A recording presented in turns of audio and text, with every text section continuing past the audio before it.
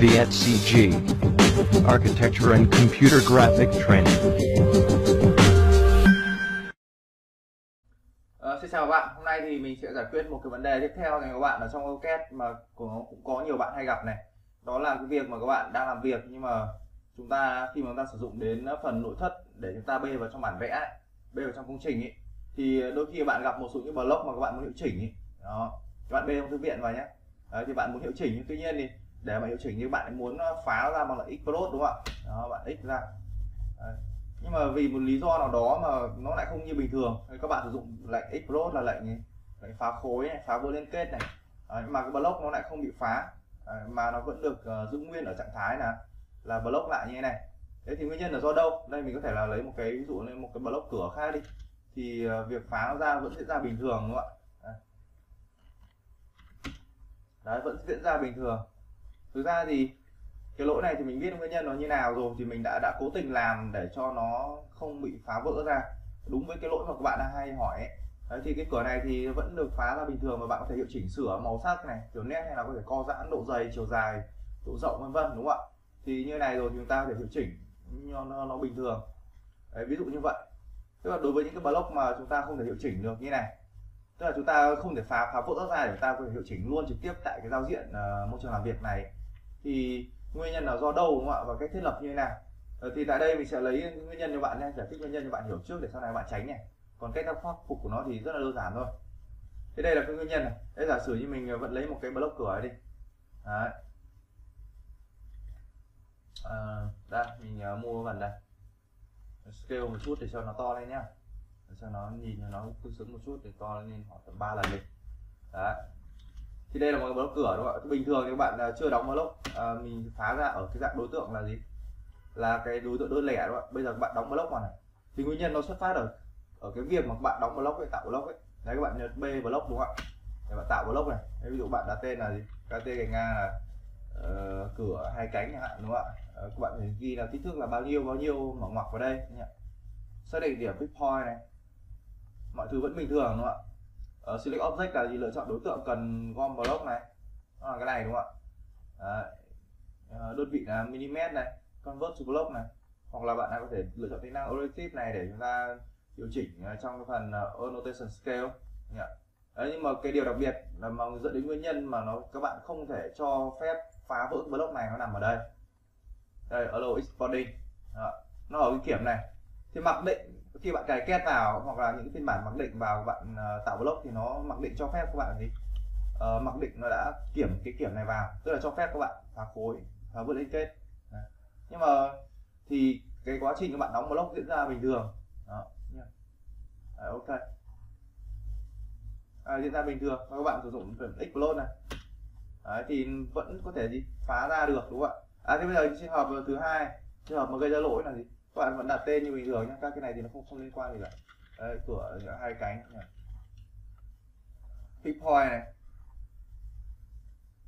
Các bạn chọn con to block và lựa chọn đối tượng này. Nhỉ đấy đơn vị mm nhưng tuy nhiên thì không hiểu vì sao bạn lại chạm tay hay như thế nào đó hoặc là một người nào trước đó người ta là đóng block ấy mà người ta lại bỏ cái kiểm này đi được chưa? Tức là cái trạng thái là khi bạn tạo tạo block ấy bạn bỏ kiểm này ra bạn nhấp ok này. đấy cái file này là mình đã đặt uh, tên nó trùng ờ, chảy hai cánh số 2 màu ngọt là hai được chưa? Ở đây bạn nhấp ok này. Thì nó vẫn tạo thành gì? Vẫn tạo thành block đúng không ạ? Tuy nhiên tạo thành block rồi thì bây giờ các bạn muốn phá ra để hiệu chỉnh nó chẳng hạn như vậy. Đấy gần gần như là gì? Nó không cho phép bạn phá cối ra. Đấy. Thì nó gặp đúng cái trường hợp như ông này này. Đấy.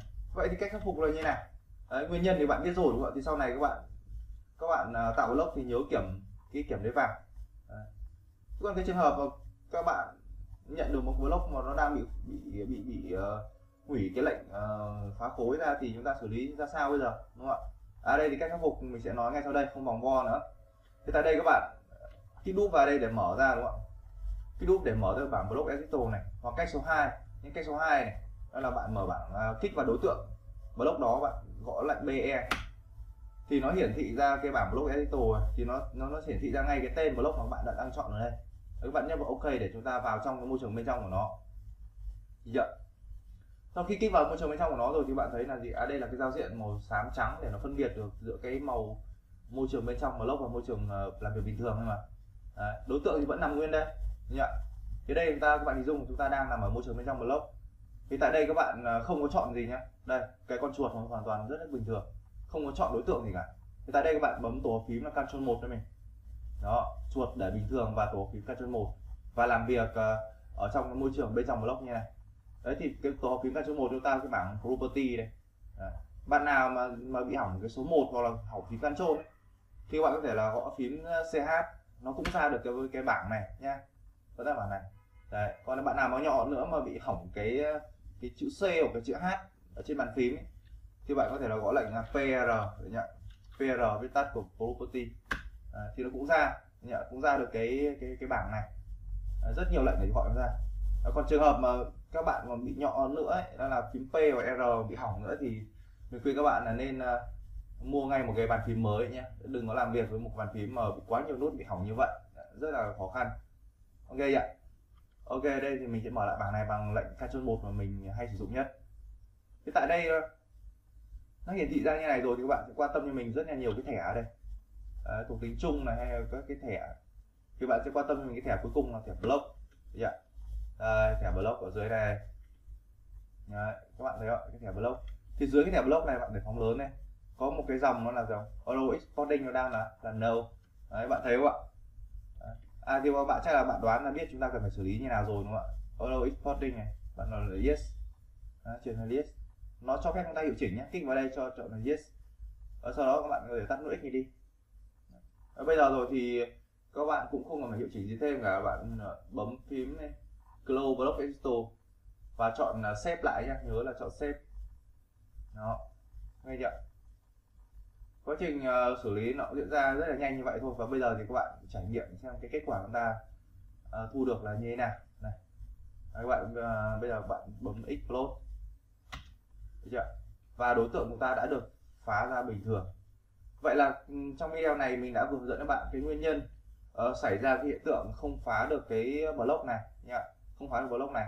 Và cách khắc phục nó là như thế nào nhá?